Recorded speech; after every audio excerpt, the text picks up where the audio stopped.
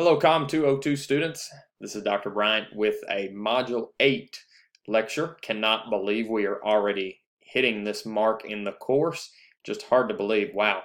Um, but we are here and we are going to go ahead and talk about uh, impromptu speaking this week as we get ready for our final kind of performance. This is kind of your equivalent of a final exam. It's just to see how much you've progressed in the course. And oh my goodness, is it amazing just to watch you all grow. Um, you know, my whole goal with online instruction is that it simulates the same environment that you would have gotten a face to face, if not enriches it even more. And I would say with this group, it has been more of an enrichment uh, more than anything. So let's go ahead and talk about our agenda for this quick little section. It is going to be an overview of impromptu speaking. Uh, we're going to talk about the benefits of impromptu speaking, structure, the prep method, some tips that I'll give you, uh, and the assignments that lay ahead here in Unit 8. Okay, so the first thing, what is impromptu speaking? This is where you are just handed the mic. You talk, okay? I, I think back to the first time our youth service center coordinator at my school was handed the mic and was like told to talk about her job. Well, she was on day two at the time. And so she literally had to make up in front of a crowd of 300 parents what her job was and talk about who she was and, and how she was going to benefit the school. So that's impromptu speaking, where you are kind of handed the mic and you got to go on a topic that you may or may not have a lot of information on. This is also my favorite kind of speaking. Um, another thing that comes up with impromptu speaking, that is, if you've ever seen the show Whose Line Is It Anyway? I grew up watching the Drew Carey version, um, and I know there's a new version out now. That's all impromptu. They, I mean, they get those clues and they have to make things up uh, out of their brain, but it demonstrates so much thinking, and so that's another reason why I like impromptu speaking so well. Um, is it's kind of that Whose Line Is It Anyway type um, type speaking, and so I really enjoy that. Okay. Um, Mark Twain, I love this quote. It usually takes me more than three weeks to prepare a good impromptu speech. Yeah, all right, Mark. Um, you don't get time for preparation. If you do, it is so minimal. Um, and so the irony of that is that we'll talk about the prep method, how you can prep for an impromptu speech with the just minimal time that you may have uh, before you do that. Okay? Now, there are benefits to impromptu speaking. Overall, it improves your oral expression and your and your think your thinking um, and delivery of your thinking. So it takes it from the brain and puts it out into the audience and, and allows them to start decoding what you're encoding. Uh, you get more confident the more you do it. You know, I think it would have been good probably for us to have had this live session earlier in the course, and we may play around with that with future offerings, but I thought this would kind of work as a, a better final exam for you uh, after you've had all that practice now to come live. And it causes you to think quickly on your feet. I, I love the movies where you see the, the villain who just can think so quickly uh, without having to uh, sit down and develop too much thought on something. They just can pop right through it. Um, and so I think I like that part about it too, is just that it, it, it is so uh, easily developed on the spot.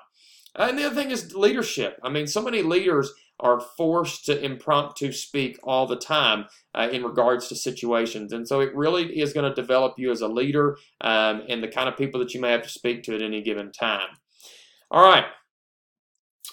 You're wanting to be an impromptu speaker. Maybe you don't want to be an impromptu speaker. Either way, these are the top five professions where impromptu speaking is a must. Look at number one manager. Just like I was talking about leader. Impromptu speaking is a must when you're a manager. Teachers, I can't tell you how many times I've taught my class from the hip. Was it what I wanted to do? No, but I just didn't have the time I needed to prepare, uh, or the materials weren't there for me to prepare. Coaches, journalists, and attorneys are all the top five professions where impromptu speaking is a must. It is a number one skill that's going to be looked for on a resume. Um, and so that just offers a little validation to why we're doing what we're doing here. Okay, structure of an impromptu speech. You're going to have the the opening statement. This is where you still got to get your audience's attention. We talked about attention getting techniques. Okay. I think a lot of times in leadership, though, it's where you start with your anchor. You know, we are an organization where we do this. Okay. We are a Christ first organization, so we do this. Uh, you lead with an anchor. Uh, more than maybe an opening strategy. It, it just kind of depends on what you what you assess. But I, I, always have been told you lead with your anchor uh, in that sense. Okay, uh, you're going to still have somewhat of a body. You kind of some main points that you want to hit real quick. Boom, boom. Um, and then a conclusion where you you leave your audience thinking about something. Maybe you give them something to do, something to think about, you summarize your points. That sort of thing uh, is how you conclude an impromptu speech.